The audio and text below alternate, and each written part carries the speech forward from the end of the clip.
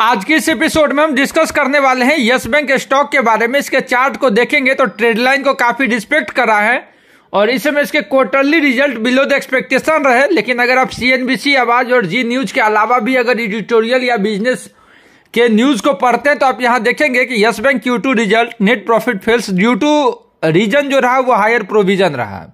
जिस प्रकार से कंपनी प्रोविज़न कर रही है, उस प्रकार से नेट प्रॉफिट डाउन होना एक कॉमन सी बात है और एक्सपेक्टेड था ही। लेकिन जिस प्रकार से नेट इंटरेस्ट इनकम में ग्रोथ 32 परसेंट का दिखा है तो श्योरली ये क्वार्टर क्वार्टर इंक्रीज होते हुए दिखेगा। और एक बार नेट एनपीए जो है, वो सेटल डाउन होते हुए दिखती है तो यहाँ से आपको जो नेट इंटरेस्ट इनकम के साथ साथ जो नेट प्रॉफिट है, वो भी श्योरली बढ़ते हुए दिखने वाला है तो बिल्कुल पैनिक नहीं करे। अगर ये ट्रेंड लाइन को ब्रेक करता है तो फोर्टीन ट्वेल्व रुपीज़ तक के लेवल्स भी इन वो सिनेरियो दिख सकता है। डोंट थिंक सो कि टेन के नीचे जाएगा।